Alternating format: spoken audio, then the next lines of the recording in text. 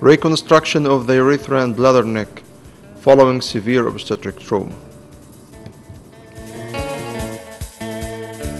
25 year old woman who had an obstructed labor that ended by disruption of the urethra and bladder neck. Six months after trauma, the floor of the urethra and bladder neck was completely sloughed.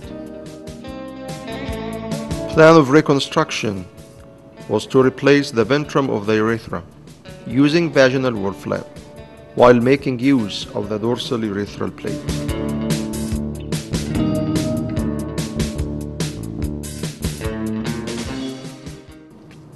An incision is made in the anterior vaginal wall to obtain a good thickness vascular vaginal wall flap. Then two lateral incisions are made in the dorsal urethral plate, freeing it from the underlying bone.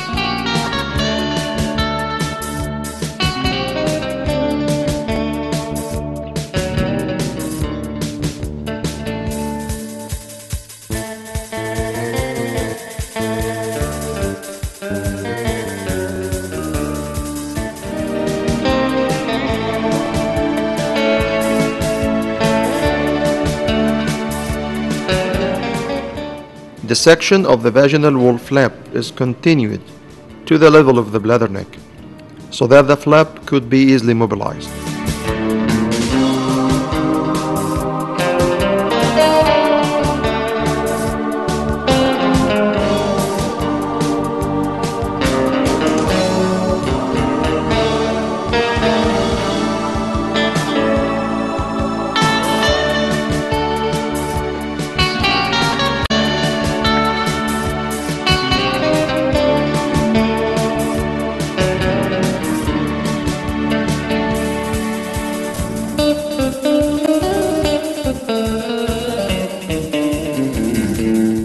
Dissection of the bladder neck of the pubic bone was carried out.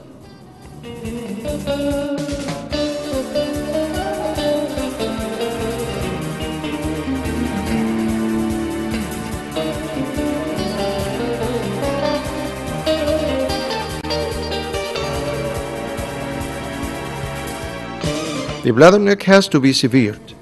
Reanastomosis of the bladder neck to the dorsal urethral plate was carried out using 4O PDS.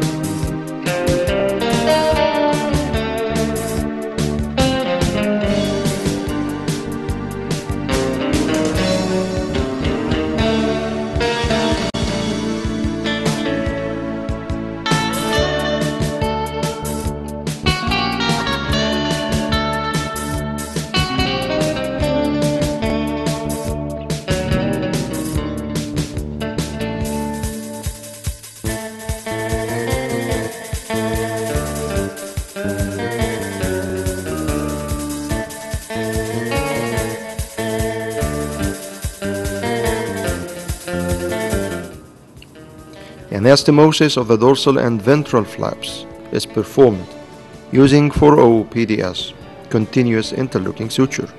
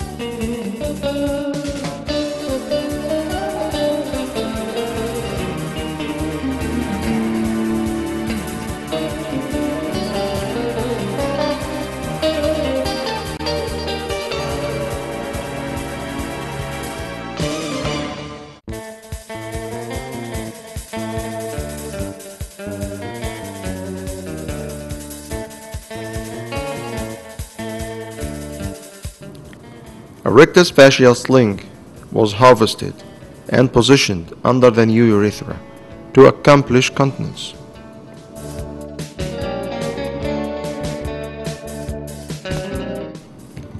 Clamps are passed from the suprapubic incision via the retropubic space in order to grasp the suspending sutures.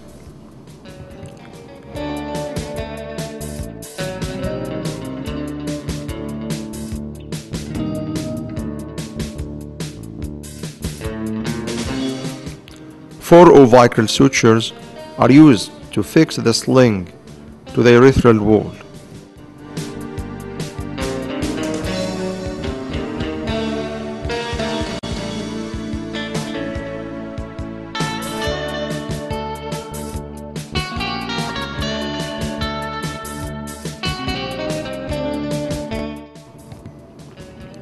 Redistribution of vaginal mucosa in order to clothe the defect resulting from harvesting the vaginal flap.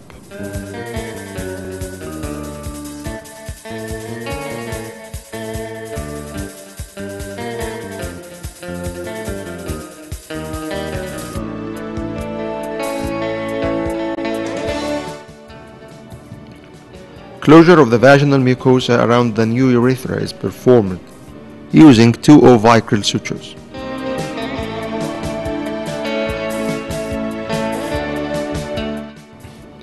An 18 French silicone catheter is introduced through the new meatus easily. It was left for two weeks.